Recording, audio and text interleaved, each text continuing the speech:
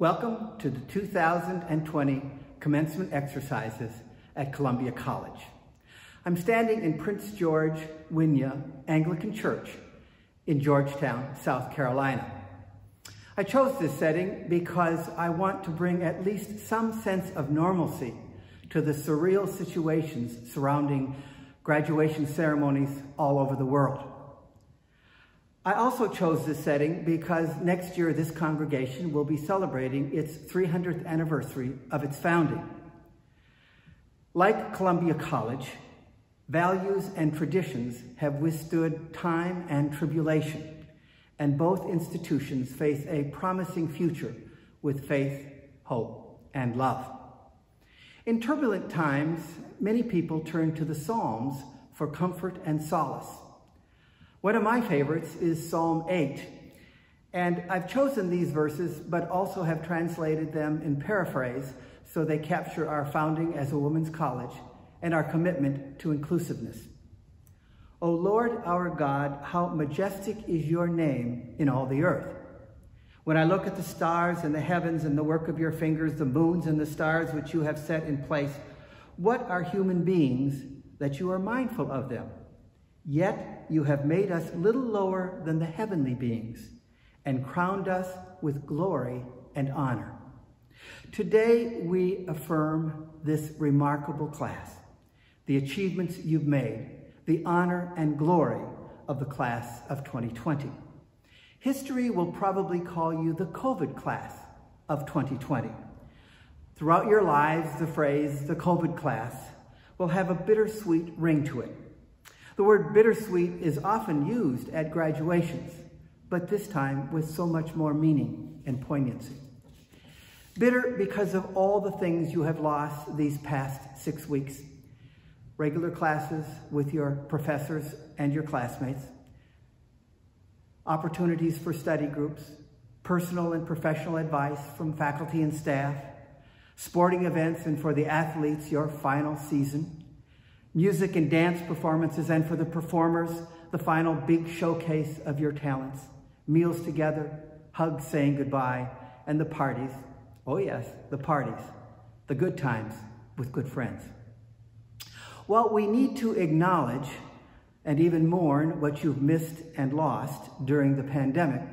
We also need to find joy and promise in what you have gained and found, what you have achieved and what you will achieve throughout your life. You've adapted, adjusted, endured, and succeeded in the most turbulent time in the history of higher education, certainly since World War II. William Faulkner captured what you have achieved in his 1950 acceptance speech when he received the Nobel Prize for Literature. He said that the narrative of life is not that we should merely endure, but that we are destined to prevail. You have not merely endured, you have prevailed. You have been and are what they said at the opening of the Star Trek television series. You've gone to the final frontier, you to explore strange new worlds, to seek a new life and new civilizations, to boldly go where no woman or man has gone before. Like the psalmist, you are crowned with honor and glory, but you are the 2020 version of Trekkies. In 25 previous commencement exercises, including nine at Columbia College, I've had the honor and privilege to offer a charge to the graduates. For the class of 2020, my charge to you is so very familiar, and in light of being the COVID class, so very appropriate. It's the four C's, courage, commitment, confidence, competence. In unsettling and disruptive times like these, we need to remember and cling to values and truths that have served us wisely and well. Such are the four C's. Courage. For 166 years, this remarkable college has been graduating women and men with courage courage to be leaders, trailblazers, champions, and stars, but also the grit and perseverance to overcome obstacles and to manage adversity. My first charge to the class of 2020 is to be courageous in big and small ways, to step up and lean in, to take risks as you make a difference. Commitment. Success does not come from merely showing up. It comes from a commitment to excellence, to a cause, to a principle, to a belief. As the class of 2020 goes forth, commit your life to doing your best. Commit your heart to something beyond yourself. Commit your very being to social justice and improving the human condition. Confidence. In the video of encouragement, the words of encouragement that we have sent over the last two weeks, there has been a simple theme, even a phrase that we've used over and over. You've got this. You've got this. You've got this. And you do. You've got the confidence, the panache, the will, the pizzazz, the wherewithal, the style, and the grace to succeed. To the class of 2020, believe in yourself as your faculty and staff believe in you. Enter the next chapter of your life with confidence. Competence. Debbie Fields of Fields Bakeries is credited with saying, good enough never is. She's right. Good enough never is good enough. Competence rules. Competence prevails. To the class of 2020, I urge you to never accept good enough. Only accept the highest level of confidence and competence possible. And continue to reflect on the ways to continuously improve. In 2045, 25 years from now, you will gather for a reunion to celebrate the anniversary of this graduation. You'll be called the class, the COVID class of 2020. And you'll respond loudly, yes, we are, and darn proud of it. It isn't that you merely endured, you prevailed. You'll say that our lives have been marked by, but also inspired by, those times of turbulence. And we've succeeded because we believed in and followed the four C's. Courage, commitment, confidence, and competence. We've been crowned with glory and honor. We are the class of 2020. Today and always, may God bless the class of 2020. I'm Lisa Livingston Fusco, the Columbia College Alumni Association President. You are an elite class of Columbia College students. You've contributed leadership, dedication, and integrity to this institution, and your legacy will always be present as you leave her hallowed halls. As your representative to the Columbia College Alumni Association, I welcome you into the fifth oldest association of its kind in the country. On this special day, I challenge you to begin planting seeds for the next generation of Columbia College students, reminding them always of our rich heritage since the founding of the college in 1854. You have worked hard for your success, and I hope Columbia College will always have a special place in your hearts. To the graduates of the class of 2020, congratulations, best wishes, and welcome to the Columbia College Alumni Association.